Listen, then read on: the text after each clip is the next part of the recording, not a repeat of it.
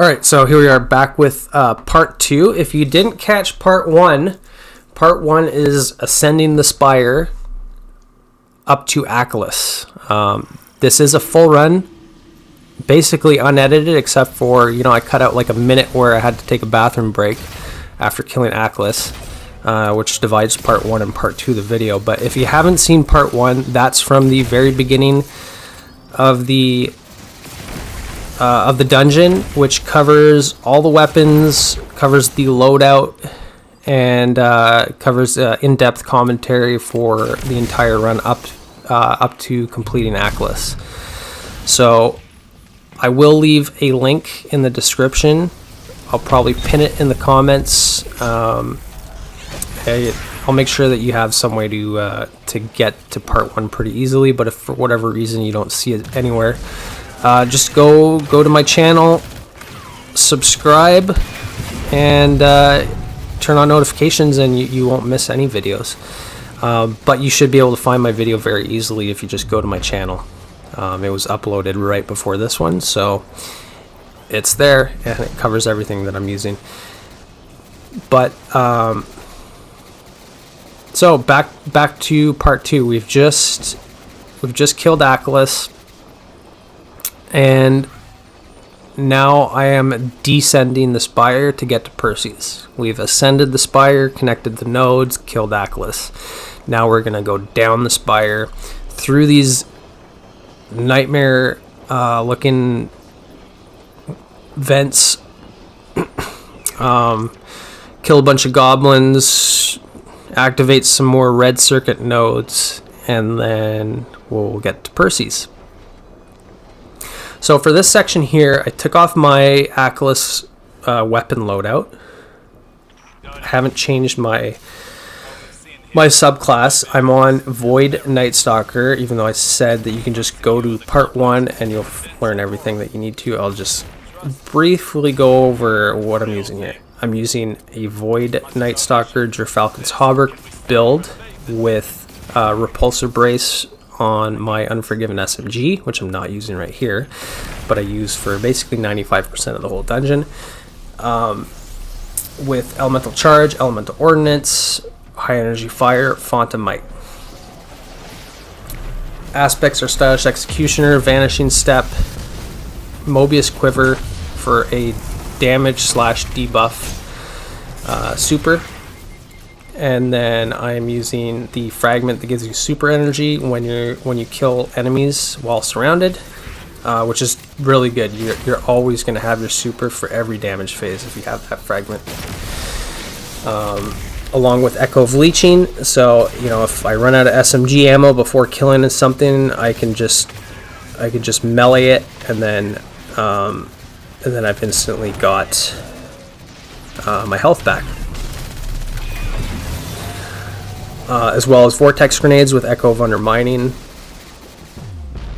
And uh, finishers give me invisibility. So for this section here, I, like I said, I switched off of my Akelous weapon loadout and I put on Trinity Ghoul because the as you're descending the spire here um, and standing on the beams, basically all the ads and the goblins and everything, they're all just sitting ducks. They can't shoot you from where you are up high. So if you just get lightning rod going with Trinity Ghoul, um, you can just uh, kill them all really fast without worrying about them at all. Um, otherwise, use whatever you want to take them out, but I just preferred something that was quick, easy, and took care of a whole bunch at once. Um, you know, otherwise I'd have to go down there, shoot him with my SMG up close, and it would just take a lot longer and be a lot riskier.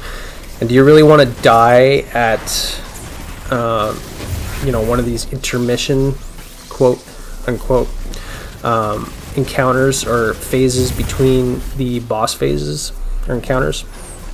No, these are like these are the sections that you don't want to die at because you've already done all the hard work of killing Akelous. Um, so you want to get to Persys, obviously, and take your gamble there. If you die at Perseus, oh well. but you don't want to die like you know by getting hit by a fan blade an event, or an electric circuit in the uh, in the shaft in the middle there, which can easily kill you too. Um, but yeah, so once you take care of take care of all those uh, all those goblins and everything, and activate the red circuits to go finish your uh, fan blade section, you get to this section here, and this is the last mini section before getting to Persys. Um, so I switched my loadout right before hopping down here, and uh, let me. I'll go over that in a second. But uh, yeah, so I switched my weapons back to Unforgiven. Um, also, I I switched my uh, took off Taipan and I put my sword back on, which is what, I use at the beginning of the dungeon. Um, and you know, while ascending the spire and connecting the nodes, you know, the sword is just kind of a good backup for if you make a bad jump or if you get knocked off map, um, whatever. You can always pull out your sword and hopefully swipe yourself back onto map and not die that way. So I decided to go through the fan blades and everything with my sword. You don't need a heavy for anything else really, but it does one heavy swipe the uh, Arctrician Minotaurs. So it's not bad for that, but it's primarily just for the utility. Um, but I switched to uh, Wish Ender and back to Unforgiven because in that previous section there, the there's that Hydra in the middle. Wish Ender easily takes care of all the Hydras because it has intrinsic anti-barrier, armor piercing arrows. You can just hit all your crits regardless of where the Hydra's shields are. Um, and then, yeah. Not only that, but I keep Wishender on for my for my Persys fight, um, which I've just found works well for me. Arbalest is also a really good choice. Um, you know, Witherhoard's decent too because you can you can do AOE damage, uh, damage over time to the Hydras in the Persys fight uh, with Witherhoard. Not only that, but you can use Witherhoard this season uh, for weakened clear. So regardless if you're on solar, arc, stasis, you can still have that void 15% debuff for extra damage from your grenade launchers. But I'm using a void subclass, so I don't need weakened clear, at least not for the void debuff. Um, not only that, but you know, one reason I go with Wish Ender as opposed to Arbalest is that um, this way I'm running double primary ammo, uh, which means I'll get more heavy bricks. Um, but to be honest, I had more heavy bricks than I know than I knew what to do with because I have uh, my rocket launcher has field prep, enhanced field prep on it. Um, which I've heard that even though it doesn't say so in the description, uh, field prep gives you basically intrinsic uh, scavenger. Maybe even ammo finder, I don't know. But you basically, you get more ammo, you find more ammo, and get more ammo per brick uh, just by having field prep. So you could, and uh, I, am saying this after doing this dungeon solo and then solo flawless, using the same weapon with field prep. Uh, you don't, you definitely don't need to run uh, a scavenger mod. You probably don't even need to run an ammo finder mod. But I kept my ammo finder mod on anyway because uh, didn't really have anything more important to use there anyway, and uh, you know I didn't want to risk going without both ammo finder and scav. But I can't remember if I actually kept, if I actually had the scavenger on or not here. Um, I probably just kept it on because you don't. These boss fights are so long. Um, You know, if you're an average player and you don't have the game down to a science and you're not like pro skill level at the game, then you're you're going to be doing like between 5 and 7 phases. You know, that's if they go fairly smoothly on these bosses, which is going to seem disheartening when you see how little their health bar goes down after you do all the work of connecting the nodes, all the work of surviving, all the um, supp- supplicants, which are the harpies that fly at you and explode.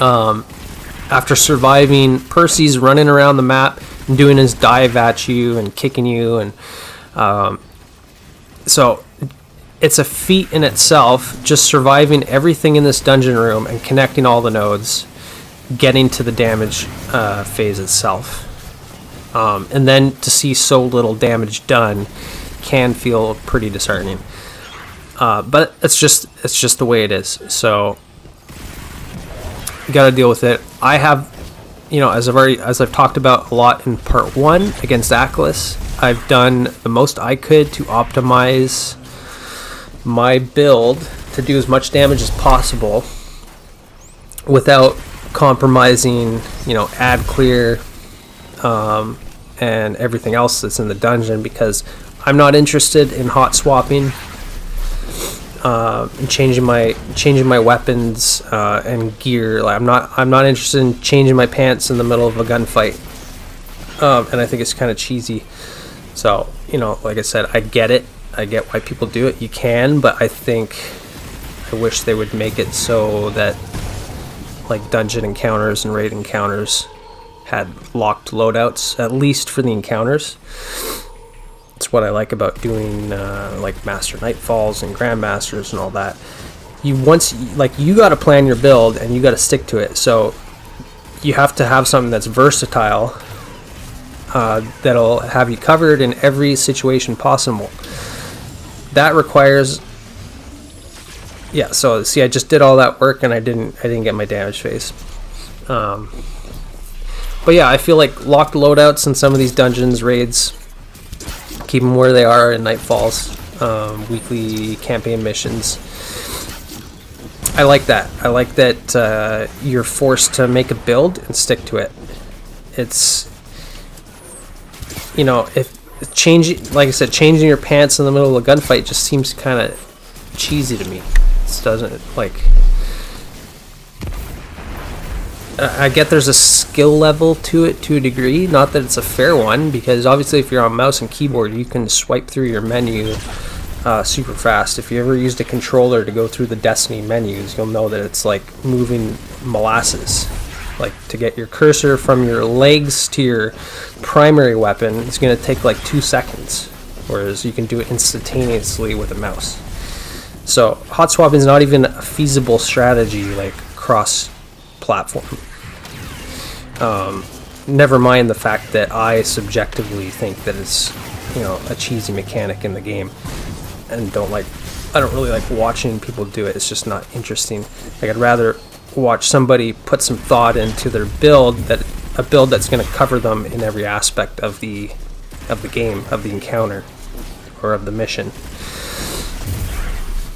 Anyways i've already uh, i've already gone off about that on part one so i'm not going through this part but basically i'm doing the best i can with my build here as an average player on controller to uh, to maximize my effectiveness in both ad clear, survivability, and boss damage. So basically what I'm saying is I'm not when I get to the damage when I get to damage phase against Persys, I'm not going to change my pants so that I have three stacks of uh,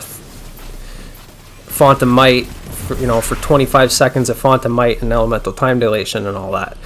I'm just using the same stuff the whole the whole dungeon basically. I only switch my weapons for each encounter.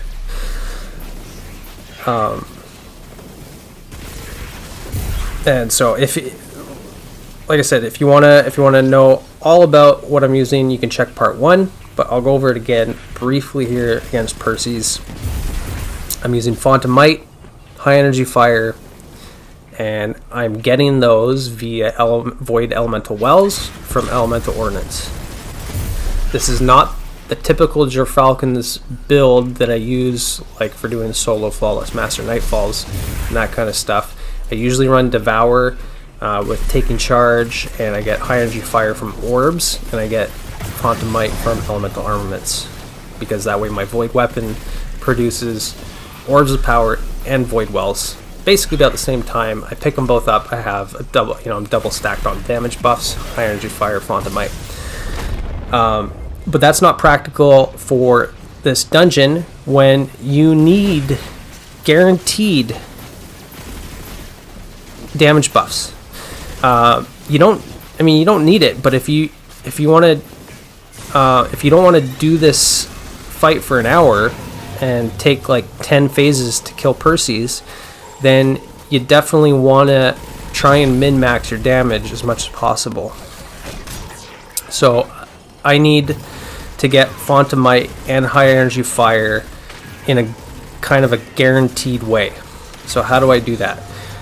Well, when you're ad clearing, I screw it up here, speak of which. Um, when you're clearing out this uh, this room here, where you do damage from,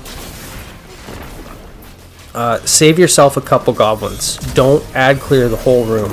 It's okay to kill all the suppl all the, the uh, supplicants. The the minotaurs don't matter. The electrician minotaurs because they despawn uh, for damage phase anyway. Uh, but if you save yourself some goblins in here, when you come back to do damage, you can use the goblins to get your your void well. So, like I said, I'm using elemental ordnance, so my grenade is going to give me a guaranteed void well. Whereas, you know, elemental armaments is chance for a void well based on multi kills. So, you you could use elemental armaments, but you got to realize you're probably not going to get your void well unless you've got like three, four goblins saved. So, elemental ordnance just a, is just an easy, guaranteed way. And I don't need my grenade for anything else really because even though I have Echo of Undermining and it could debuff the boss and do a little bit of damage uh, to the boss, that doesn't matter because I'm using I'm using my Void Super Mobius Quiver, which is going to weaken, suppress, make volatile uh, Persys anyway. So um, so I don't need my grenade for the debuff on the boss. I also have my smoke bomb as backup. So actually, when my um, on an optimal damage phase with uh, with my rocket launcher,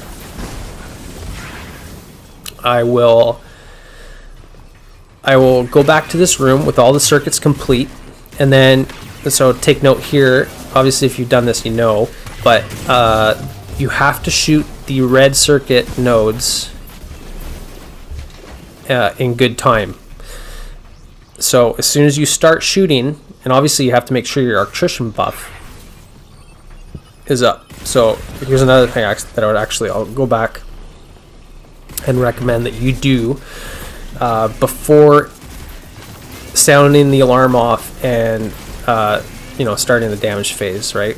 So like back in this room, this is where you finish the last two nodes. As soon as you finish the last one, the alarm goes off. Persys has to be in the room, which you probably know, but he has to be in here, and then you've got to get out. Um, get out of the room, go back to the other room. And then you're a couple seconds later, the red the red circuit nodes will open up and you have to shoot all five uh, in a short when time in a short amount of time. Like i don't know how many seconds it is. It doesn't i don't think it tells you. Um, but you know i want to say like four or five seconds something like that. Like if you have to reload your weapon in between shooting nodes, you're probably going to lose you're probably going to reset the nodes. If you reset the nodes, you have to redo the whole, everything leading up to the damage phase. Uh, so it's a complete nightmare if you screw that part up. So basically, what I'm saying is, before you complete the last node in Persys room, before sounding off the alarm to come back into this room, make sure your arctrition buff is fairly decent. So I would say make sure you got like 25 seconds on arctrition. So what you could do is you can complete all the nodes up to the very last one.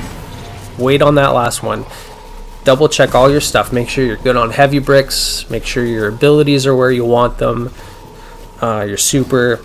Um, then go go back in here, kill one of the minotaurs, refresh your arctrition buff, and then go back into the other room, complete the circuit, come back here, shoot all five nodes. In an ideal damage phase, you've got one or two goblins left standing, like I just had right there. Hit them with your grenade, so make sure you have your grenade ready too. The door is going to open, shoot your first Mobius quiver, then rocket, vanishing step to instantly reload your rocket, shoot another one, uh, reload Mobius quiver again, smoke bomb, two more rockets. So I think basically you get five rockets, both your Mobius quiver shots, and Persys is ideally debuffed the entire time, and you've got Volatile rounds the entire time because um, you know proccing Volatile rounds right at the beginning doesn't matter because your Mobius quiver is going to make Persys volatile anyway. So it's basically only once um, your Mobius quiver effect is worn off that's when the volatile rounds um, are, are most useful. Um, although I did forget to mention there, pick up your void well. Don't forget about that. So, on so right away you shoot your first Mobius quiver shot, then then you land on your void well, so that you have your void well for your first rocket shot, and that void well is giving you high energy fire. It's giving you so it's giving you high energy fire for the entire damage phase, right? Because you only lose high energy fire uh, after you kill something and you're not killing Persys on, you know, until the very end. So you're going to have your 20% from high energy fire the entire damage phase. You're going to have Font of Might for 9 or 10 seconds, which is pretty good. You know, that's like half the damage phase. You're going to have uh, Persys going to be debuffed the entire time from Mobius Quiver and then from your Smoke Bomb. He's going to be volatile the entire time from your Mobius Quiver and from your volatile rounds from Falcon's Hauberk. So you're stacking quite a lot of damage buffs and debuffs here. Um, and even with all that, I, I think I still did this in six phases or so with one. I think I failed the first phase because I had to reload my SMG and I didn't complete the circuit in time. Um, but say each phase you're actually doing decent, decently optimal damage. Um, you know, it's probably about a six phase. And I've seen people do this solo in like two phases, I think. Two or three phases. Maybe not two, I think it's three. Um, hats off to them. You know, I don't I don't know how they could do it. I know that like Arc Warlock or um, Solar Warlocks have. I, I want to say that it's a bug that they get like a 95% damage buff in their Well of Radiance against Persys. It's against Persys only. It's not anywhere else in the game. It's not anywhere else in this dungeon. It's just in, against Persys. Well of Radiance gives you a 95% damage buff to your own well. So your allies standing in your well, they just get the standard 25%, which is what it should be.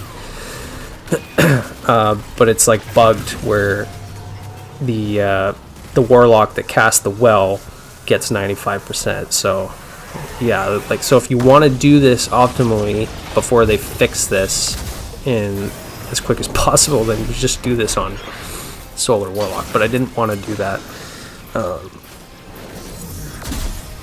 with that said, because I, I don't really re like relying on kind of exploits and glitches and um, stuff that's not going to be around for the long haul or is not intended. So I imagine that that is going to get fixed. Um, you know, maybe it'll be next season before that happens. Uh, but then all those people that are crutching on uh, on that 95% buff to solo three phase or two phase Persys, they're going to have to adapt to a different way. Not to say that they're not going to have a problem adapting, but I'd just rather not.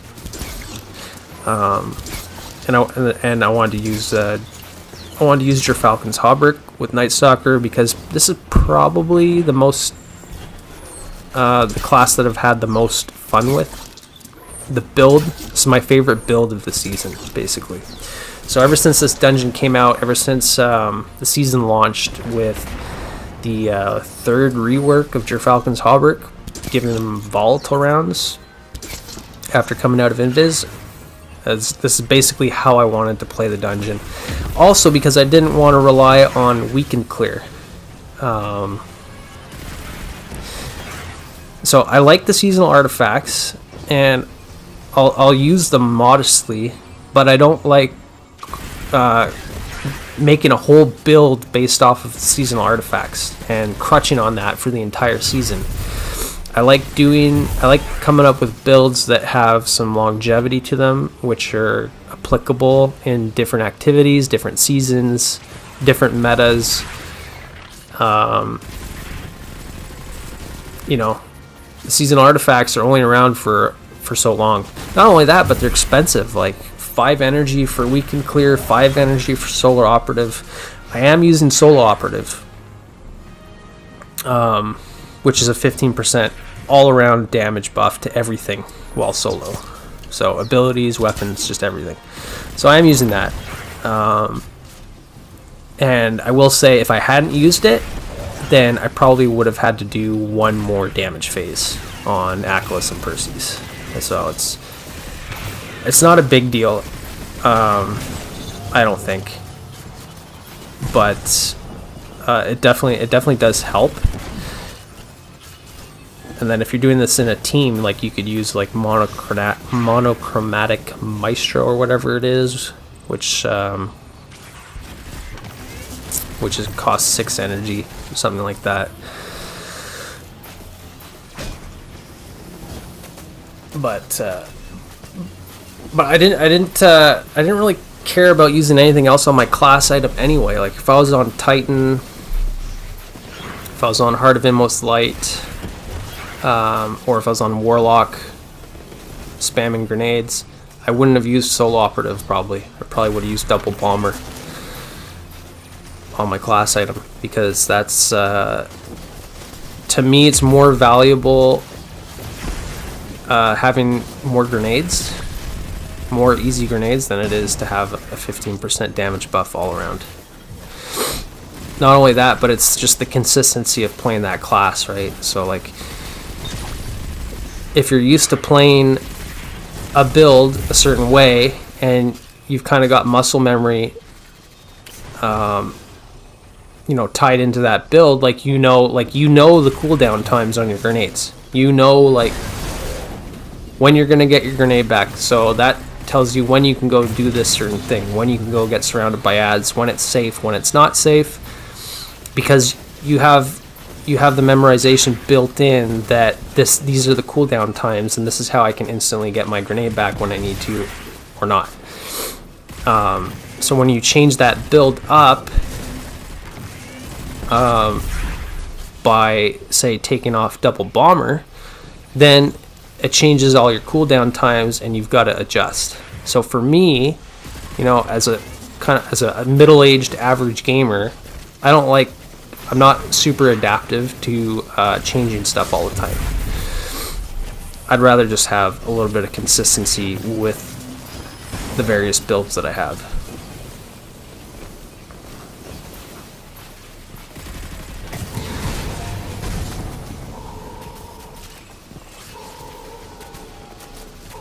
But to each their own. Um, you know, I have nothing against anybody that wants to use all the seasonal artifacts in the world.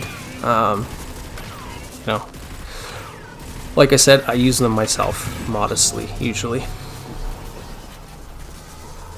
I mean, we don't have a choice with champion mods. Uh, like, it's not in this dungeon. It doesn't really matter, uh, unless it's on master. Then you've got overloads to take care of. But you know, with nightfalls, grandmasters, and stuff, obviously you need to use the seasonal artifacts, or you're not going to be You're going to be dying. You're not. You're, you're just going to be failing. Like you're basically forced to use some of the seasonal artifacts.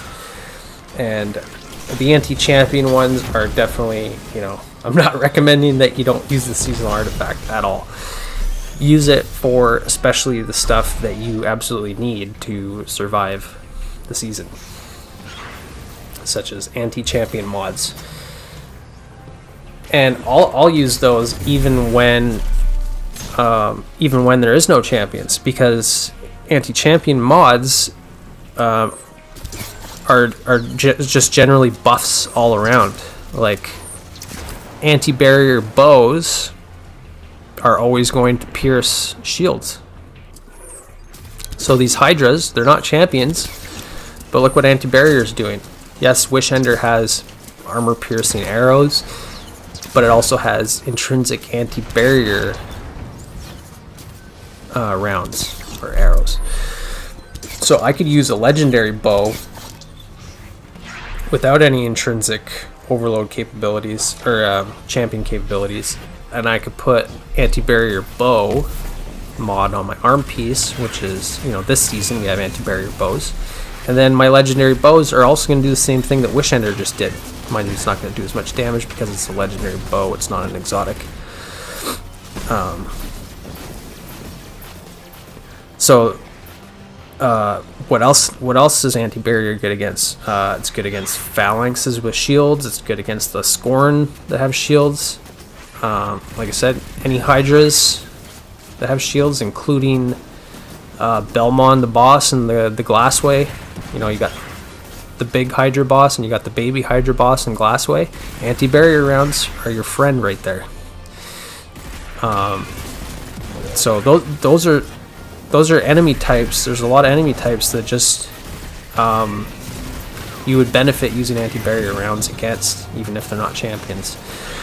Overload, same thing. So I think for this dungeon, uh, if you see my loadout from part one, you may see at the end here again. I'm not sure, um, but I'm pretty sure that I'm using. Oh no, I'm not. I I was when I did my. I think when I did my solo completion, um, I was using overload rounds on my SMG because my SMG is basically my bread and butter for ag clear and everything else. Uh, and repulsor brace, procking falcons, volatile rounds, everything. SMG is doing it all, so I'm running SMG reloader for more, uh, for quicker, more reliable reloads. Um, but I was also because I had room on my arm piece, I just put on overload rounds for auto rifles and SMGs which it doesn't matter if there's no overloads or not because overloading enemies is is basic is kind of like a mini suppression effect. Um, it's like if you if you know the um, there's the same as the intrinsic um, origin perk that came with a lot of the Witch Queen weapons, Psycho Hack. It's similar to that. So damaging enemies with Psycho Hack or with Overload rounds, any enemies, is going to is going to uh, minimize the damage that they do to you. So if you damage them, they're going to do less damage to you. That's how Overload rounds work. That's also how Psycho Hack works, in case you didn't know. Um, which actually, I didn't even really pay attention to this, but my red herring rocket launcher has psycho hack, so that potentially could have helped me survive Persys here, and I didn't even realize. Um, you know, damage resist mods are really important here. Uh, in the, in this, especially against Persys, I'd say more than more than uh, Akelous. Akelous is a, is a more survivable boss fight, uh, but probably more probably longer and a bit more tedious. Persys is uh, is a is a much tougher fight to survive. Even even even when it's just damage phase and it's just you and Persys, um, he's he's still still very easy to die to him alone. Like never mind him just roaming around the map with hundred ads and supplicants and everything.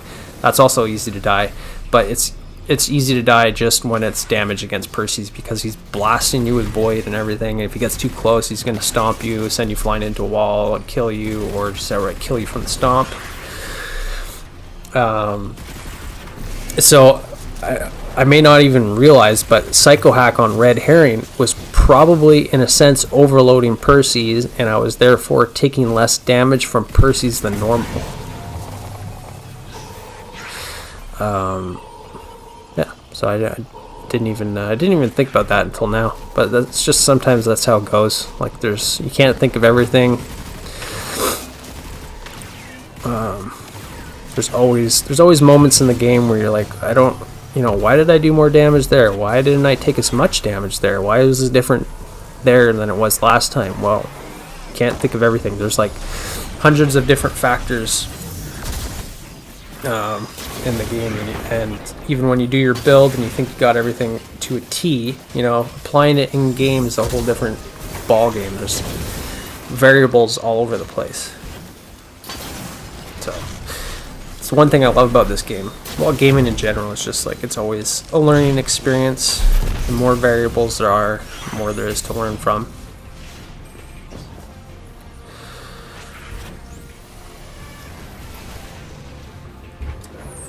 Um, and so why do I go with rockets against Persys here? Well, I think just rockets are kind of like the the most reliable um, most reliable heavy to use versus Persys. You can't you can do just as much damage, if not more damage, with with the linear fusion rifle, but um, it's a lot harder to hit his crit. Like if you can't do crit damage versus Persys, if you miss a couple shots, say your accuracy is like 50% with a with a linear, you're not doing as much damage as a rocket. Um, so you can go either way, but you know Persys is wiggling around, moving all over the place. You're moving around, trying to evade uh, his void blast. It's just not practical for I would say most players to use a linear.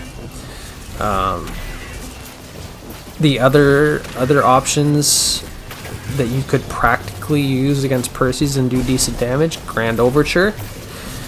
Um, actually, Grand Overture, since all the buffs to the missile volleys has been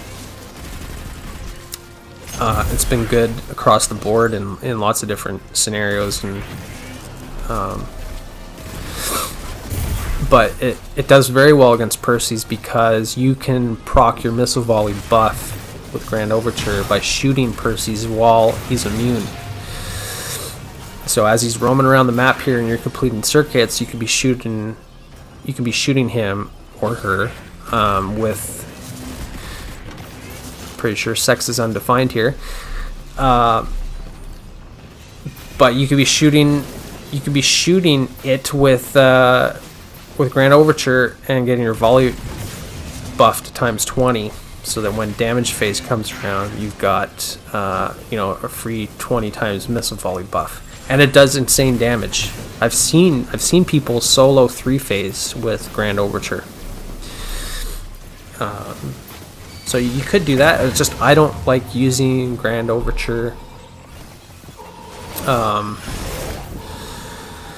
all that much because it's slow to fire and you're putting yourself at risk every time you're charging up your it's, it's kind of like a linear fusion rifle slash machine gun um, like takes a while to charge your shot up to shoot it so you're putting yourself at risk while you're doing that and then it takes forever for the uh, for your shot to get to its target like the velocity on them is just super slow so I die a lot using Grand Overture, just trying to charge the uh, missile volley buff.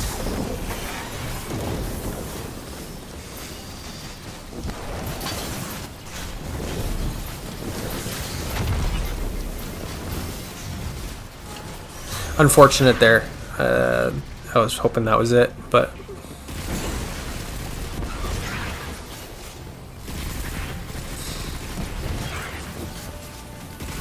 So yeah, rockets are, are just very reliable. Um, and with field enhanced field prep, I had more heavy ammo bricks than I knew what to do with. Um, I also have enhanced frenzy on it, which is the best damage perk that you can get on it for just general boss damage. I used to have enhanced adrenaline junkie on it, but that was more of kind of like void walker specific or heart of inmost light. You know, grenade build specific ad clear um, type of type of perk because adrenaline junkie, even though it gives you the biggest damage buff on the weapon, um, it's like 30 33 percent extra damage or something, but it relies on you getting a grenade kill first, and then it it's just like it, it doesn't last long once once you do get adrenaline junkie times five.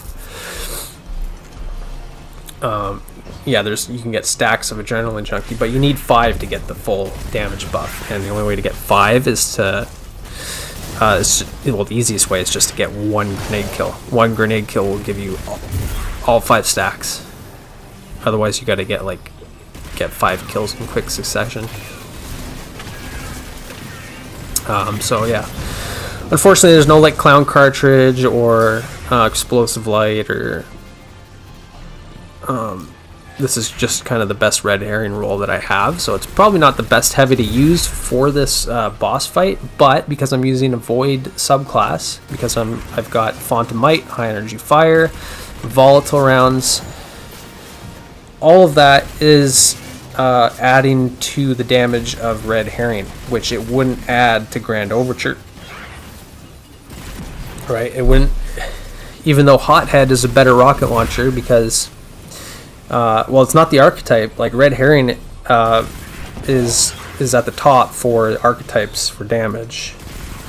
Uh, adaptive and aggressive frames are the best rocket launchers. Red Herring is one of those. Hothead is also one of those. But Hothead has better perks. You can get Clown Cartridge, which just means you get to shoot more rockets in a shorter, uh, shorter time frame. So I think on average I was getting five rockets off on Persys. If I was using Hothead with Clown Cartridge, I probably could have got off seven, maybe. Um, or if I was using Warlock with uh, Demolitionist on Hothead, I could have I could have got off more rockets. Um, not only that, but I could have had like explosive light. So instead of just doing 15% extra damage from frenzy, I'd be doing 25% extra damage from explosive light. Right. So so hothead just has better perk rolls.